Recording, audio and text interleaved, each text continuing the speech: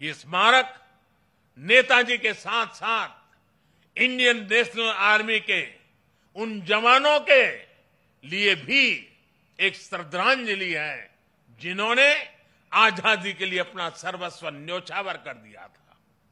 ये मेरा सौभाग्य है कि पिछले वर्ष, आज के ही दिन, मुझे कोलकाता में नेताजी के पैतृक आवास भी जाने का अवसर मिला था। जिस प्रकार से वो कोलकाता से निकले थे, जिस कमरे में बैठकर वो पढ़ते थे, उनके घर की सीढ़ियाँ, उनके घर की दीवारें, उनके दर्शन करना, वो अनुभव शब्दों से परे है। साथियों, मैं 21 अक्टूबर 2018 का वो दिन भी नहीं भूल सकता, जब आज़ाद हिंद सरकार के 75 वर्ष हुए थे।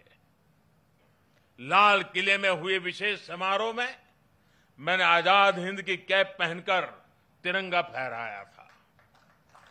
वो पल अद्भुत था। वो पल अविस्मरणीय है। मुझे खुशी है कि लाल किले में ही आज़ाद हिंद फौज से जुड़े एक स्मारक पर भी काम किया जा रहा है। 2019 में 26 जनवरी की परेड में आज़ाद हिंद फौज के पूर्व सैनिकों को देखकर मन जितना प्रफुल्लित हुआ, वो भी मेरी अनमोल स्मृति है।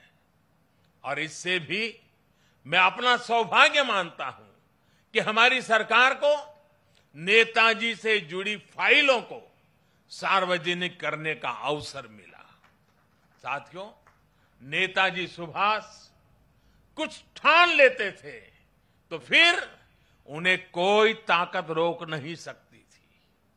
हमें नेताजी सुभाष की can do will do spirit से प्रेरणा लेते हुए आगे बढ़ना है। वो ये जानते थे, तभी ये बात हमेशा कहते थे। भारत में राष्ट्रवाद ने ऐसी सृजनात्मक शक्ति का संचार किया है, जो सदियों से लोगों के अंदर सोई पड़ी थी। हमें राष्ट्रवाद भी ज़िंदा रखना है। हमें सृजन भी करना है और राष्ट्र चेतना को जागृत भी रखना है।